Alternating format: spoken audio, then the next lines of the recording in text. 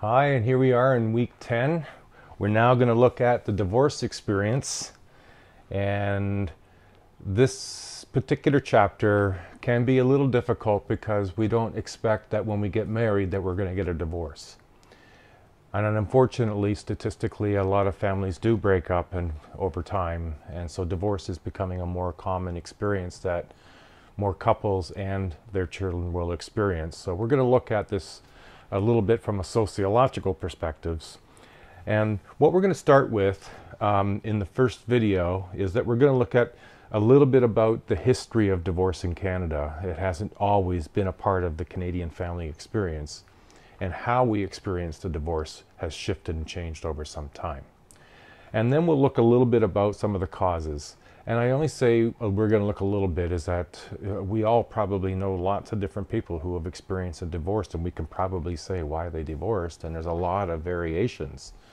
So we're only going to look at some of the more fundamental ones, the ones that statistically, if they were to categorize the kind of groupings of causes for divorce, what would they be? And then in the second video, we'll look at some of the developmental stages of what are the stages of going through a divorce. We'll look at some crises, in particular three crises of divorce, and we'll look at what might be the effect on children about having been involved in a divorce. Now again, excuse me, some of this will be stuff that you'll be familiar with, and some of this uh, won't sound like what your experiences uh, have been. So just bear in mind and use your sociological imagination, where really what you're looking at is families in general, not families that you know and not families that you've been a part of, but also the bigger picture of families. And some of these experiences are certainly personal issues, and some of them are more public issues. And so, even though you don't have a familiarity with this in your own experience, there are a lot of families in Canada, and so many, many others may have had these experiences, and that's why it seems unfamiliar. Okay. And then the last thing we'll look at will be um, some issues around custody. And how does that get, uh, what, what are the issues of custody as it relates to divorces? And we'll just touch on briefly about where the future of divorce might be going. All right, so I hope this has been helpful, and uh, let's get started. Okay, when we think in terms of, you know, what is a divorce? A divorce is a legal disillusionment of a marriage. So it's not just that you've walked away from one another and that's not a divorce, but you've gone through and done it in a legal manner.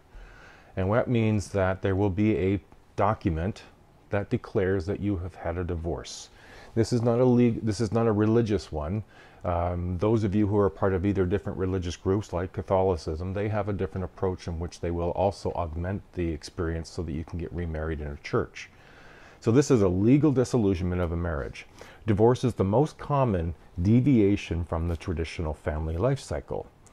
So if you thought death in a family member of one of the two mom or the dad was the most common reason that families have a change in their life cycle, it's actually divorce is the most common. Divorced families add two or three phases to their life cycle. Now, when you think in terms of phases, this is almost like stages or parts of a life cycle. If you go through childhood, you know, teen, adulthood, you get married, you or you have a job, you get married, you have an education. I mean, these stages, these phases. Well, divorce adds to the few phases. It could add the phase of separation. It could perhaps add the stage of remarriage. Um, it adds another stage of stabilization of the new family pattern. And perhaps, and in some families, that could add additional stages of separation, uh, perhaps remarriage and restabilization. So, divorce adds more parts in many people's lives, more phases. Uh, divorce is not uniform. That is to say, it shouldn't be oversimplified as saying that all divorces are kind of alike. That they're not. There are amicable divorces, there are argumentative and disputive divorces, and so there's a wide range. There's not a uniform way. Not everyone gets the sort of cookie cutter approach to a divorce. Some divorces happen very quickly and some take time. Some involve children, some do not. And so it's, it's a quite a, it's not a uniform process. It's not something that should be oversimplified. In practice, the divorce experience is quite diverse for couples and their families. Some history of divorce. Divorce has not always been very common. Uh, in early Canada, laws for divorce were strict and divorce was very infrequent. Church was dominating the social life and, for the most part, forbade uh, divorce. Now, that altered over time in 1867. So, this is at Confederation of Canada. The federal government had the exclusive authority over divorce. So, if you wanted a divorce, maybe I should be more clear. If a man wanted a divorce, he had to go to the uh, federal government. Now, I emphasize that in that back in 1867, women didn't have a lot of rights, so they couldn't file for divorce. Uh, they didn't have the legal authority. They weren't even deemed by law a human being. So if a man wanted a divorce, he needed to go through the federal government. So you can imagine, not everybody did that. They would just get up on their horse and ride away. You know, so divorce was quite a different experience back in 1867. Um, if there was a, a, divorce that could be decreed, men needed to prove adultery by their wife, and you can imagine back in that time frame, it wouldn't have been very difficult to have done that. I mean, just saying so was sometimes evidence enough. Women needed to prove desertion of two years or longer if it was going to be considered as a divorce, or extreme physical or mental cruelty. Now that's hard to prove because it's not defined. It just says extreme mental and physical cruelty. Well, everybody's different as to what they think that is for themselves, and so the law didn't have a particularly clear way of defining that. Now, come Confederation, anyone living in the province without a divorce court could submit a private member's bill to Parliament. So you, you'd sort of you'd have to put in a request to Parliament to make a law that you could get a divorce. So if it was passed, the divorce was granted. So this would be like you get a vote from Parliament. All in favor of Steve getting a divorce, say aye. Uh, against, and if it was in favor, I could get a divorce. If it wasn't, I couldn't. And what does any of them know about my circumstances? So it was quite an archaic experience. It was long, took a long time, and it was expensive. Not everyone would be able to afford this. Um, in 1925, women could get a divorce based on proof of adultery only. Mental and physical cruelty wasn't a part of it. Now, you see in the bottom right corner the famous five. Uh, these were the five women who were instrumental in Canada of influencing women getting the right to vote and therefore having other legal rights after 1926, uh, 1916, and then moving on through the rest of Canada. So it was quite a, I mean, the history of divorce has had a long history and it hasn't all been smooth and it hasn't all been easy, and neither has it all been accepted. So what you're seeing now is a slide with crude marriages and divorce rates. Uh, this is from 1926 to 2008. On the left-hand side, you're seeing numbers of 200, 400, 600, 800. This is the number of divorces per 100,000 in the population. So there would be 600, 800, or 1,000 divorces, people going through divorces in 100,000 people. And along the bottom is um, the year. Now, a divorce rate, this is the measure that predicts the proportion of couples that can be expected to divorce before their 30th, 30th wedding anniversary and is based on current, current patterns of divorce. So immediately after World War II, and you see that uh, represented in your slide there, you got the Great Depression, things are kind of fairly low. And then after World War II, the divorce rate jumped. And this resulted from freedom and financial independence women experienced in the workforce while men were at war. I mean, when men were at war, the factories didn't stop running, women were working.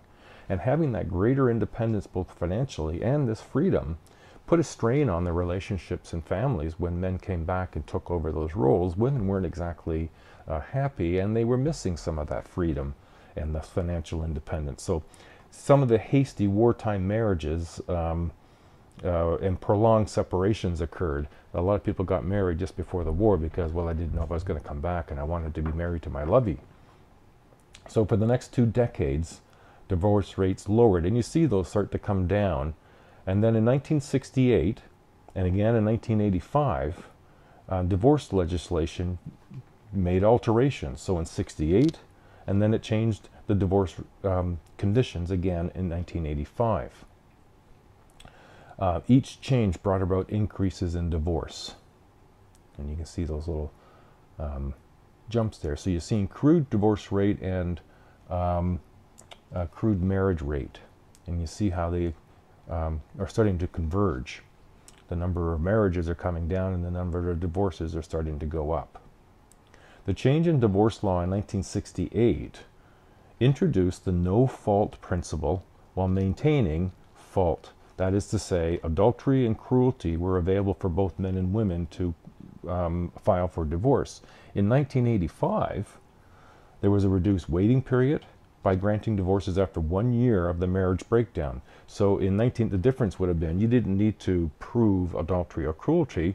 You just needed to live apart from one another for one year, and that would be a condition, or a divorce could be granted. Uh, resulted in an enormous increase in the number of divorces in Canada. Now, this table you see the, the 30 year divorce um, rate per 100 marriages. And so you think that of every 100 marriages, these are the number of marriages ending in divorce. And you're seeing quite a dist- distribution here from 1998 through to, and this is all after the Divorce Act changes in 68 and 85. So you look at Ontario, you're seeing 33 marriages ended in divorce um, before that 30 year period out of every 100. Moving up to 34.6, moving up to 34.9, moving up to 35.5, moving up to 44.1 before dropping in, in 2008 to 42.1. And most of the distributions work very similarly in terms of that divorce rate. This next slide is one that looks at um, older Canadians are more likely than younger Canadians to agree with reasons for divorce. Now, what you're seeing are the categories fundamental issues, experimental issues, and fertility issues that are the basic identified kinds of reasons that people divorce. Divorce Act the Divorce Act currently recognizes three legal grounds. You can have grounds for cruelty, adultery, or being separated for one year. And in Canada, separation is the main ground because proving cruelty and adultery can be a time consuming and an expensive process. So, researchers have identified three kinds of reasons people divorce. The fundamental issues are like um, infidelity or cheating on one another and abuse. The experimental uh, issues are like disagreements, uh, sorry, experiential, um, is like um, disagreements that you might have fights and the way that you fight and the disagreements become quite significant in terms of you know your difference of opinions on pretty important issues to your relationship or unsatisfactory sex life. And then the third category fertility issues uh, issues like infertility and the desire to have children. Either you can't have children and the other partner wants children or one wants them and the other doesn't want them and there's no fertility issues uh, there are social factors that can increase the likely of, uh, likelihood of divorce as well. Those who marry before the age of 20 are much more likely to, be sep- uh, to separate later in their marriage. Lower socioeconomic status is related to higher divorce rates. I think you remember from the journal, you know, that the uh, people who are in higher income brackets tend to marry more frequently than, uh, than people in lower income, and they're also more successful. Cohabitation before marriage increases the likelihood of divorce, and spouses whose parents are divorced are more likely to be divorced. Now, if you look at the categories there and you're seeing what you're seeing in the columns, you're seeing the categories in the left hand column, Gen Xers, so those are um, people in the generation behind the boomers, so they'd be uh, probably 30 to 45, 50. And what you're seeing in the percentages is the range of agreement that this is reasons to divorce. The boomers, you're seeing their range of agreement, and you're seeing an increase that there's more agreement to those reasons for divorce and those elements. Older uh, Canadians, older than boomers, so they'd be into their 70s and 80s even, and you see a higher rate of agreement. And then what you're seeing in the last total is a total, if you will, a um, an average over the um, all three groups, what are the general consensus about agreement on these categories, and you're seeing a fairly high agreement.